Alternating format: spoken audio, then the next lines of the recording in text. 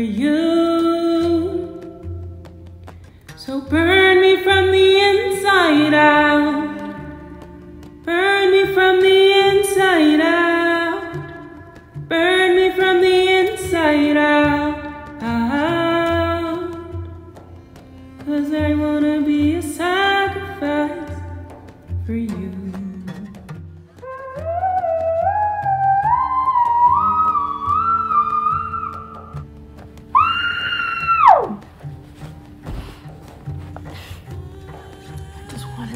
Me as a living sacrifice. I just want to lay down everything.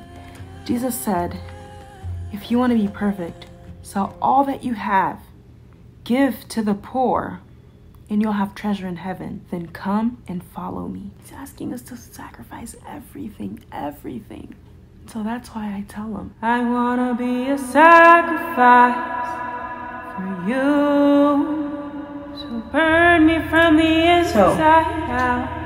Loving Jesus is a sacrificial thing. That's that was his whole ministry. He literally, according to John 3:16, which all of you know, for God to love the world, that he gave his only son, that if any of us believed in him, we wouldn't perish, but we would have eternal life. So he gave his son, meaning he sacrificed it. He put his son's life on the line, like death. To be in a relationship with Jesus is a sacrificial one. And something Jesus has been asking me to let go of are my Brandy Melville clothes. These kinds of shirts, they have this logo. I have lots of them. Not too long ago, I was spending time with God and there's this young man. He's a rich young man. He said, what can I do to have eternal life, right? And Jesus said, well, first Jesus told him to keep the commandments. That's what he was already doing. So for me, he tells me to keep seeking him and to keep laying down my life and keep praying, worshiping and serving him. But I'm like, but God, I want to do more for you. I want to be a literal living sacrifice. I know I'm not the only one. Like we get to this place and I'm there now, like where I'm like, God, I want to be on fire for you. I want to like literally give you my life the way you gave me yours. Just use me, God, use me, please. I want you to. And then God reminded me, you're not willing to give up your little stupid tank tops. I'm sorry for saying that word. Clothes, especially when I've asked you to, especially these kinds of clothes, like from the specific brand. And you want me to like ask you to lay down your whole life? These are just cloth, it's fabric, it's material. And you want me to ask you to lay down your whole life. And I'm like, God, I can do it. I will do it. And I'm like, but then why haven't you obeyed? You've had months to do it. Now, I don't want this series to just be me complaining about things I should have done that I haven't done. Well, today's the day that I'm going to do it. I'm going to do it, Lord. And of course, I'm not just being rash or hasty in my decisions like, oh, I'm just going to burn my clothes just because I have so many clothes. Because trust me, I spent money on that. I am okay with the consequence of having lost that money. Like, I'm not to sell these things because I don't want it to affect others the way that they affected me. Here's a backstory so that you guys don't think I'm just being rash or haste. Like, oh, she's just burning, you know? I'm 19 and I'm almost 20. I turned 20 September 11th, which is this Saturday. And for a long time throughout my teen years, something I struggled with, I already told you, is, you know, caring what people think, wanting to fit the stereotypes, especially the popular ones. Even in high school, that was my weakness, wanting to be popular. And I did a lot to acquire that.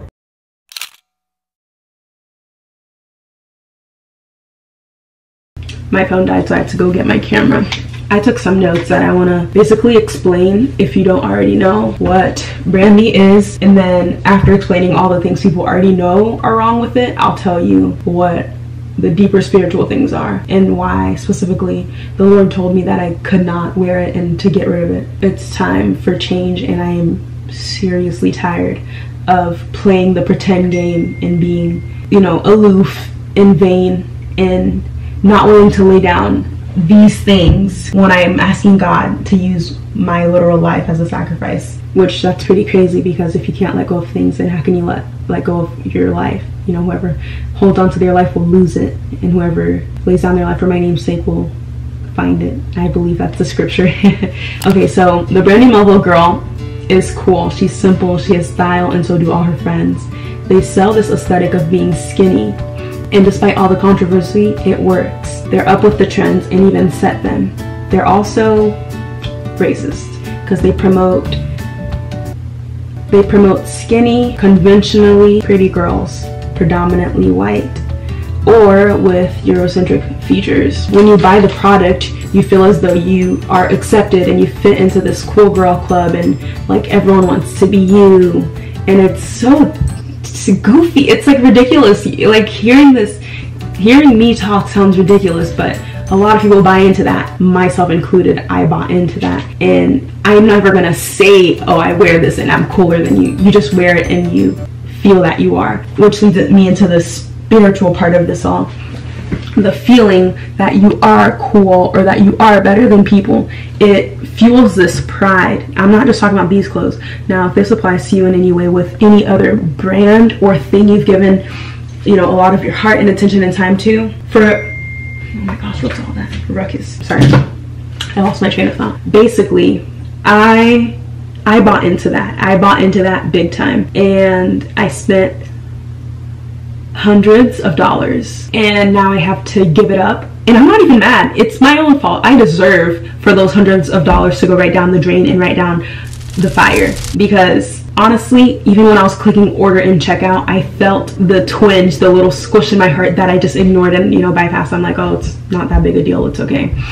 But obviously now, I'm seriously not okay with going forward with this, especially because of the effect it's having on me. It's like, it hinders my worship. Like, it's like there's a chip on my shoulder, but it's not a small one, it's a big one. And to ignore this and pretend like it's not a problem makes it a bigger problem. And spiritually, that's what the enemy does. He likes to keep things in the dark. And when sin is kept hidden and kept in the dark in that way, then it has more of a hold and more of a control on you. And I don't want this to have a control on me. Now, I'm going to tell you a little story. This past summer, I went through a lot of attacks against my flesh. Um, and by flesh, I mean like, you know, how there's lust of the flesh, lust of the eyes, and the pride of life. Well, lust of the flesh was like consuming me and i couldn't figure it out. Um, i'm not only gonna say it was the clothes but a big part of it was these clothes i mean were these clothes. Because when i thought back to it today i was just thinking um, even thinking about it would put me into an episode where i like flashbacks of things. Having these clothes when I wear them would make me feel a certain way. Not lustful, like I want men or something like that, but like to be lusted after like feeling extra confident like i can do whatever uh, like i'm i am an it like an it girl. And the worst part of this all is the two owners are two grown men and they target young teenage girls. That's their audience. They sell the idea of the schoolgirl feel which is almost like you i'm sure you guys probably have heard you know how in the inappropriate world of fill in the blank. They really sell that like schoolgirl doing bad things. And it's so wrong. And god it, it just feels horrible in my heart right now talking about it. Anyway in conclusion i'm getting rid of these. And i think if the lord is asking you to lay down any parts or any things in your life as a sacrifice to lay those things down. Because that's where that's where the sacrificial love begins. You know we're always like and not just me because I, I, know a lot of you said this too in the last video. I want, I to, want be to be a sacrifice. I want to lay down my life for him. i want to be on fire but we're not willing to lay down the small things. And so if god tells you to lay down a thing be grateful and do it so gladly. Like best believe i'm over the moon to take these to the fire pit. And so let's go. This is the craziest thing i've ever done in my life This is what I feel like is a sacrifice before the Lord. It's not just about the clothes, it is about the heart.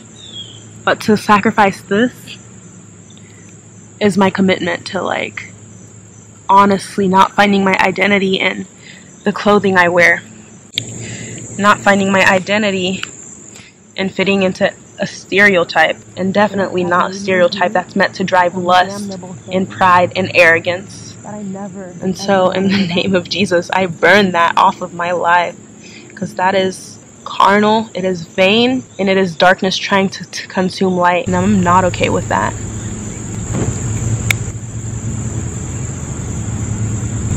It's all fake. It just burns like that.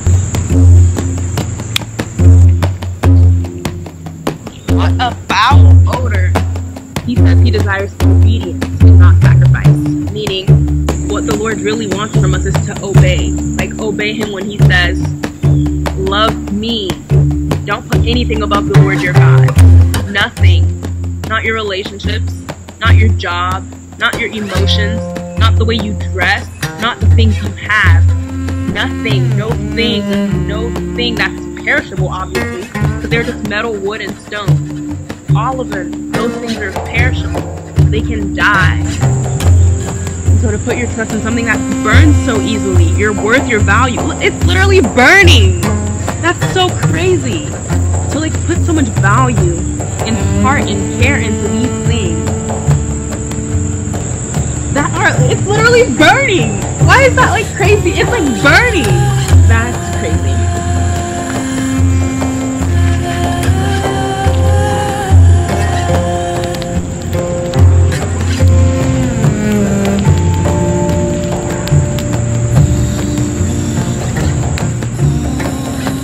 I need God to take me seriously.